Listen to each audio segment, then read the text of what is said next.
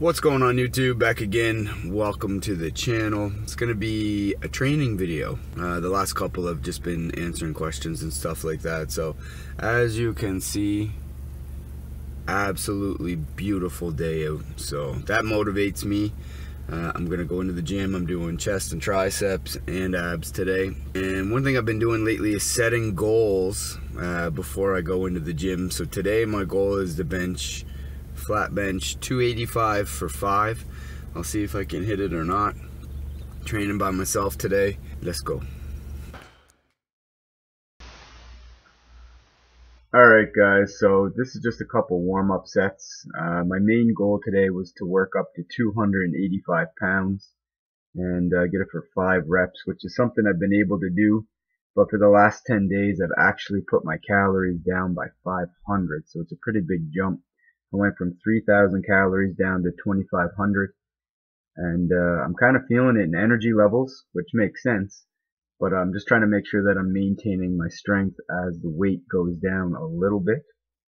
So 265 went up easy for 5, 275 for 5, and then this is 285 right here. And uh, for some reason in the gym today, I don't know if the worker had the Bruno Mars playlist on or whatever, but I could not get away from Bruno Mars.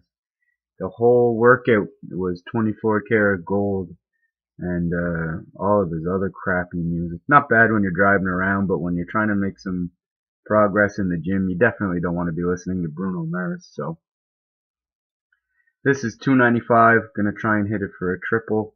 Uh, and I used to be able to a few. I hate to be that guy. I used to be able to, but a little while ago I was hitting 315 for a triple. So this is 295, and I really struggled. I didn't want to speed it up or slow it down because I wanted you guys to see the how long it was taking me to get the last rep.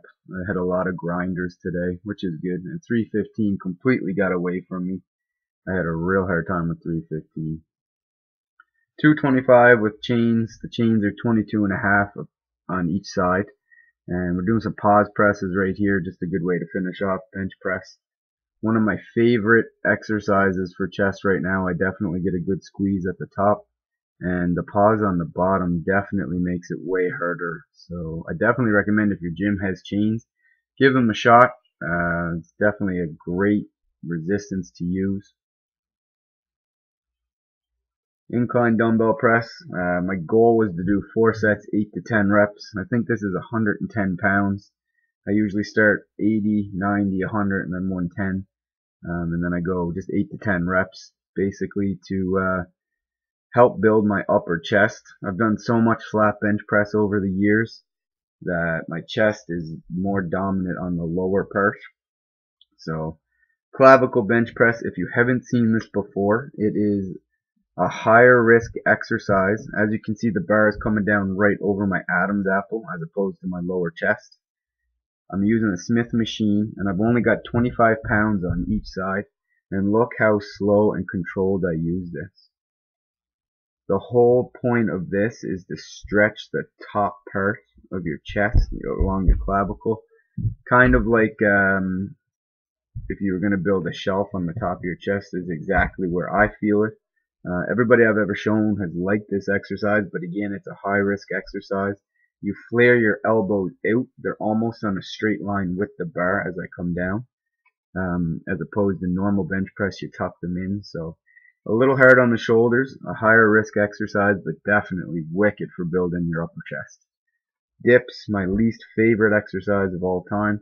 I do three sets and I try to get 15 to 20 reps at the end of my exercise that's going to be it for my first ever voiceover, and I apologize for the audio quality. I'm listening to it back right now. I'm going to head out and buy a new microphone. I do really like when uh, channels do voiceover, so it's going to be something I'm going to implement into my channel as well. Obviously, the quality is only going to get better. So if you stuck with the video, I appreciate that. And that's it for today's workout. Alright guys, just finished up an awesome high volume chest workout. I did train triceps. Um, I didn't film it. All I did was three sets of single arm cable pull downs, three sets of dumbbell overhead extensions, and then just three sets of uh, dumbbell kickbacks, which may be the oldest tricep exercise in the book, but feels the best for me anyway. So that's it for today's video. If you liked the video, please smash that thumbs up button, uh, subscribe to the channel, and drop a comment down below to your latest link and I'll check it out. Constantly looking for new videos uh, and new channels to follow, so I hope you're going out, getting some sun today. I know I am. Have a couple Coronas on the deck, and uh, we'll see you in the next video. Peace.